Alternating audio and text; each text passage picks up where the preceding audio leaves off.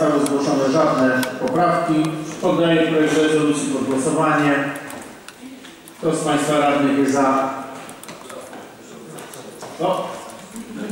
Za przyjęciem rezolucji. Kto jest przeciw? Kto się wstrzymał? Czy ktoś jeszcze głosuje? Zamykamy, proszę wynik. 38 za, brak przeciwnych, jedna osoba wstrzymała się. Stwierdzam, że Rada przyjęła tę uchwałę.